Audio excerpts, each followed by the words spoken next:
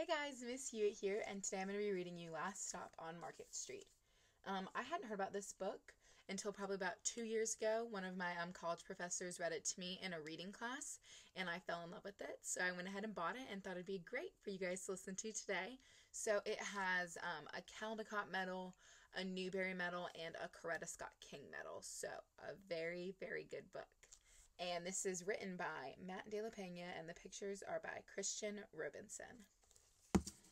So let's go ahead and get on into it.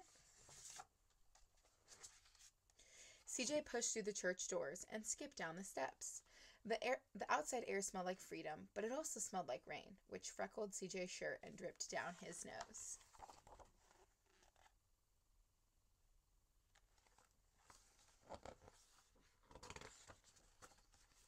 He ducked under his Nana's umbrella, saying, How come we gotta wait for this bus in all the wet? Trees get thirsty too, as Nana told him. Don't you see that big one drinking through a straw? CJ looked for a long time, but never saw a straw. What do you think that she's referring to when she says a straw? I'm thinking that she refers to the branches as being the straw, or maybe the limbs. From the bus stop, we watched water pool on fl- flower petals watched rain patter against the windshield of a nearby car. His friend Colby climbed in and gave CJ a wave, driving off with his dad. Nana, how come we don't got a car? So I think this is Colby right here, and Colby's dad, and there's CJ waving to Colby, waiting at the bus stop.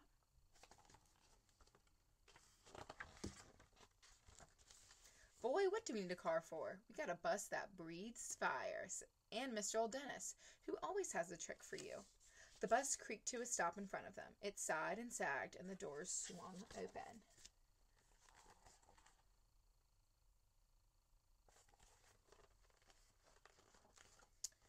What's that I see? Mr. Dennis asked. He pulled a coin from behind CJ's ear and placed it in his palm.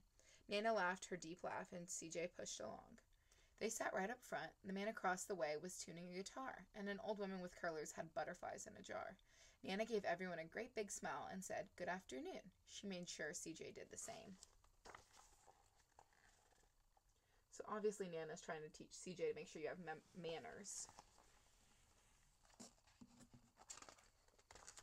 The bus lurched forward and stopped, lurched forward and stopped. Nana hummed as she knit. How come we always gotta go here after church? CJ said. Miguel and Colby never have to go anywhere. I feel sorry for those boys, she told him. They'll never get a chance to meet Bobo or the sunglass man. And I hear Trixie got herself a brand new hat. CJ stood at the window, only feeling sorry for himself. He watched cars zip by on either side, watched a group of boys hop curbs on bikes.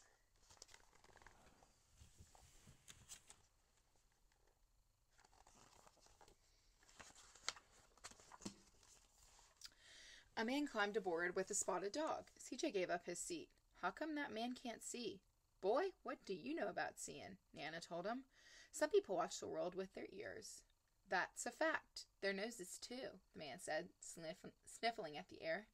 That's a mighty fine perfume you're wearing today, ma'am. Nana squeezed the man's hand and laughed her deep laugh.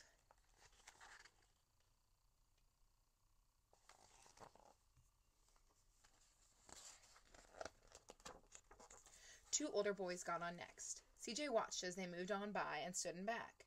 Sure wish I had one of those, he said. Nana sat down her knitting. What for? You got the real live thing sitting across from you. Why don't you ask the man if he'll play us a song? CJ didn't have to.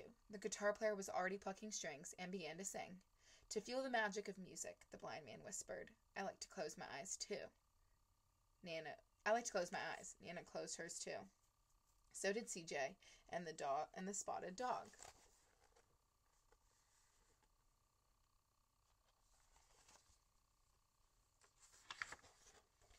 And in the darkness, the rhythm lifted CJ off the bus, out of the bus city.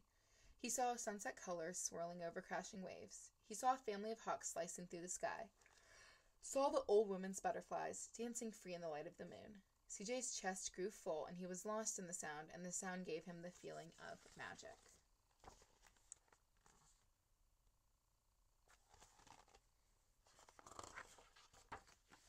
The song ended and CJ's eyes and CJ opened his eyes. Everyone on the bus clapped, even the boys in the back.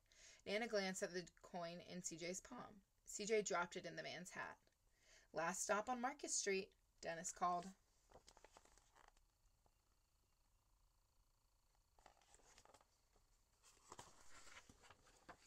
CJ looked as he stepped off the bus. Crumbling sidewalks and broken down doors, graffiti tagged windows, and boarded up stores. He reached for his Nana's hand. How come it's always so dirty over here? She smiled and pointed to the sky. Sometimes when you're surrounded by dirt, CJ, you're a better witness. Sorry, guys. Sometimes when you're surrounded by dirt, CJ, you're a better witness for what's beautiful.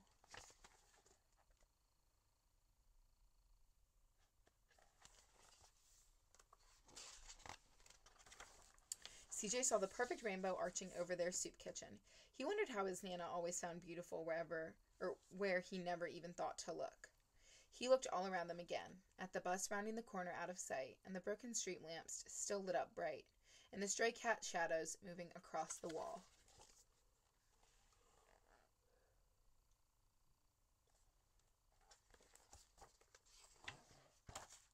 When he spotted their familiar faces in the window, he said, I'm glad we came. Oh. Nope. I didn't skip a page. That's just them going to their soup kitchen.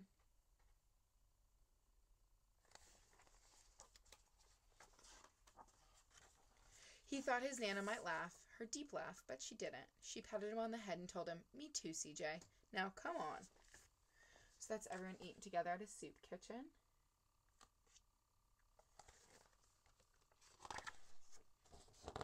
That's the end of the book. So, I love this book because I love how CJ's grandma finds the beauty in the world, even when CJ struggles to see it. So I hope that everyone has someone who can see the beauty in the world, or maybe you see it for other people.